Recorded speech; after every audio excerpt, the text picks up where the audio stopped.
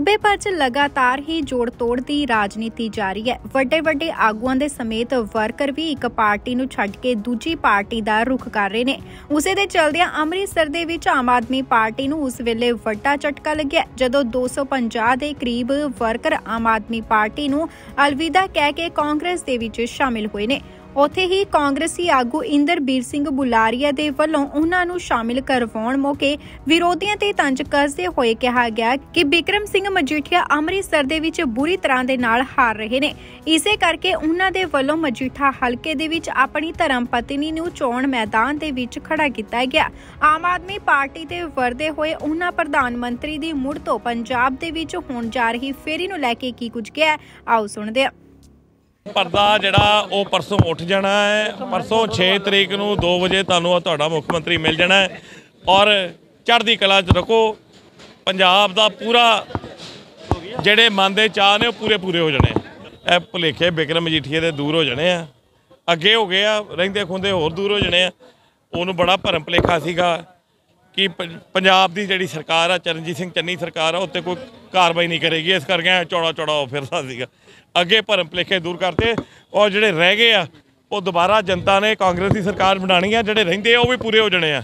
ਇਸ ਕਰਕੇ ਇਸ ਕਰਕੇ ਇਸ ਕਰਕੇ ਵਿਕਰਮ ਮਜੀਠੀਆ ਤਿਆਰੀ ਰੱਖੇ। ਔਰ ਜਲਦ ਕਾਂਗਰਸ ਦੀ ਸਰਕਾਰ ਆਉਣ ਤੋਂ ਬਾਅਦ ਜਿਹੜਾ ਕੋਈ ਕਸਰ ਮਸਰ ਰਹਿ ਗਈ ਉਹ ਪੂਰੀ ਕੀਤੀ ਜਾਏਗੀ। ਇਹ ਭਾਜਪਾ ਦੇ ਹੱਥਕੰਡੇ ਨੇ ਔਰ ਇਹ ਸਾਰਾ ਕੁਝ ਅੱਗੇ ਇਹ ਪਲਾਂਟ ਕਰਕੇ ਕੀਤਾ ਗਿਆ। ਇਹਦੇ ਵਿੱਚ ਮੈਨੂੰ ਪੂਰਾ ਵਿਸ਼ਵਾਸ ਹੈ। ਜੇ ਇਹ 'ਚ ਥੋੜੀ ਭੋਰਾ ਭਰੀ ਵੀ ਸੱਚਾਈ ਹੁੰਦੀ ਤਾਂ ਉਹ ਸ਼ੁਰੂ ਤੋਂ ਵੀਡੀਓ ਬਣਾਉਣੀ ਸ਼ੁਰੂ ਕਰਦੇ। ਜਦੋਂ ਦਰਵਾਜ਼ੇ ਤੇ ਗਏ ਸੀ ਈਡੀ ਦੀ ਟੀਮ ਉਸ ਵਕਤ ਵੀਡੀਓਗ੍ਰਾਫੀ ਕਰਨੀ ਸ਼ੁਰੂ ਕਰਦੇ ਔਰ ਅੰਦਰ ਜਾ ਕੇ ਅਲਮਾਰੀ ਖੋਲ ਕੇ ਵਿੱਚੋਂ ਪੈਸਾ ਕੱਢ ਕੇ ਵਿਖਾਉਂਦੇ। ਤੇ ਫਿਰ ਮੈਂ ਮੰਨਦਾ ਕਿ ਹਾਂ ਇਹ 10 ਕਰੋੜ ਰੁਪਇਆ ਉਹਦੇ ਘਰੋਂ ਹਨੀ ਦੇ ਘਰੋਂ ਬਰਾਮਦ ਹੋਇਆ। ਪਰ ਜੇ ਇਹਨਾਂ ਨੇ ਵੀਡੀਓ ਨਹੀਂ ਬਣਾਈ ਇਹ ਪੈਸੇ ਪਲਾਂਟ ਕੀਤੇ ਹੋ ਸਕਦੇ ਨੇ ਮੈਂ ਤੇ ਕਹਿੰਦਾ। ਲੇਕਿਨ ਪ੍ਰਧਾਨ ਮੰਤਰੀ ਸਾਹਿਬ ਦੁਬਾਰਾ ਤੋਂ ਆ ਰਹੇ ਨੇ ਪੰਜਾਬ ਦੇ ਵਿੱਚ ਲੱਗਦਾ ਸੁਰੱਖਿਆ ਠੀਕ ਰੱਖੀ ਜਾਊਗੀ। ਪਿਛਲੇ ਬੜਾ ਵੱਡਾ ਇਸ਼ੂ ਕਰਤਾ ਸੀਗਾ ਜੀ। ਚਲੋ ਪ੍ਰਧਾਨ ਮੰਤਰੀ ਸਾਹਿਬ ਦੀ ਪ੍ਰਧਾਨ ਮੰਤਰੀ ਸਾਹਿਬ ਜਾਣਨ ਉਹ ਭਾਜਪਾ ਦੇ ਚਾਰ ਲੜਕੇ ਖਲੋ ਕੇ ਭਾਜਪਾ ਦੇ ਝੰਡੇ ਲਾ ਰਹੇ ਸੀ ਤੇ ਪ੍ਰਧਾਨ ਮੰਤਰੀ ਡਰ ਕੇ ਮੈਂ ਤੇ ਹੈਰਾਨ ਆ। ਇੰਨਾ ਵੱਡਾ ਦੇਸ਼ ਔਰ ਇੰਨੇ ਵੱਡੇ ਦੇਸ਼ ਦੇ ਨੇ ਮਹਾਨ ਦੇਸ਼ ਦੇ ਜਿਹੜਾ ਆਪਣੇ ਆਪ ਨੂੰ ਜਨ ਨਾਇਕ ਕਹਿੰਦੇ ਨੇ। ਉਹ ਆਪਣੇ ਹੀ ਝੰਡਿਆਂ ਤੋਂ ਡਰ ਗਏ ਔਰ ਕਹਿੰਦੇ ਸਾਨੂੰ ਖਤਰਾ ਸੀਗਾ। ਮੈਂ ਹੈਰਾਨ ਆ ਵੀ ਇਹ ਕਿਹੋ ਜੀ ਸੋਚ ਆ, ਕਿਹੋ ਜਿਹਾ, ਇਹ ਕਿਹੋ ਜਿਹਾ ਮਾਹੌਲ ਬਣਾਉਣਾ ਚਾਹੁੰਦੇ ਆ।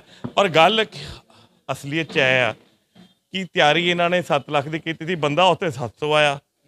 ਤੇ ਉਹ ਜਿਹੜੀਆਂ ਕੁਰਸੀਆਂ ਲੱਗੀਆਂ ਸੀਗੀਆਂ ਲੱਖਾਂ ਦੀ ਤਦਾਦ 'ਚ, ਉਹ ਤੇ ਆਪ ਰੋ ਰਹੀਆਂ ਸੀਗੀਆਂ। ਦਿੱਲੀ ਵਿੱਚ ਜਿਸ ਤਰ੍ਹਾਂ ਇੱਕ ਲੜਕੀ ਦੇ ਨਾਲ ਕੀਤਾ ਗਿਆ ਜੀ ਕਿਆ ਲੱਗਦਾ ਕਿ ਫਿਰ ਤੋਂ ਦਿੱਲੀ ਜਿਹੜੀ ਸ਼ਰਮਨਾਕ ਹੁੰਦੀ ਨਜ਼ਰ ਆ ਰਹੀ ਆ ਜਿਸ ਤਰ੍ਹਾਂ ਪਹਿਲਾਂ ਵੀ ਹੋਇਆ ਸੀਗਾ ਜੀ ਦੇਖੋ ਮੈਂ ਜਿਹੜੀਆਂ ਗੱਲਾਂ ਨੇ ਇਹ- ਸੋਸ਼ਲ ਇਸ਼ੂਜ਼ ਹੈਗੇ ਆ ਇਹ ਬੜੇ ਟੱਚਿੰਗ ਇਸ਼ੂਜ਼ ਹੈਗੇ ਆ ਔਰ ਜਿਹੜੀ ਨਾਰੀ ਆ ਨਾਰੀ ਦਾ ਅਸੀਂ ਸਾਰੇ ਕਹਿੰਦੇ ਮਾਨ ਸਤਕਾਰ ਇੱਜ਼ਤ ਸਾਨੂੰ ਸਾਰਿਆਂ ਨੂੰ ਕਰਨਾ ਚਾਹੀਦਾ ਕਿਉਂਕਿ ਕਿਉਂਕਿ ਨਾਰੀ ਦਾ ਜਿਹੜਾ ਦਰਜਾ ਉਹ ਬੜਾ ਉੱਚਾ ਸੁੱਚਾ ਹੈ ਸਾਡੀ ਮਾਂ ਹੈ ਸਾਡੀ ਭੈਣ ਹੈ ਔਰ ਆਦ ਸ਼ਕਤੀ ਆ। ਔਰ ਜੇ ਅਸੀਂ ਹਜੇ ਵੀ ਵਿਕਸਿਤ ਸਮਾਜ ਦੇ ਵਿੱਚ ਉਹ ਨਾਰੀ ਦੀ ਇੱਜ਼ਤ ਨਹੀਂ ਕਰ ਪਾ ਰਹੇ ਤੇ ਬੜੀ ਮਾੜੀ ਗੱਲ ਹੈ ਔਰ ਜਿਹੜੀ ਸਟੇਟ ਪ੍ਰੋਟੈਕਟ ਨਹੀਂ ਕਰ ਸਕਦੀ ਉਹ ਸਟੇਟ ਲਈ ਵੀ ਬੜੀ ਮਾੜੀ ਗੱਲ ਹੈ।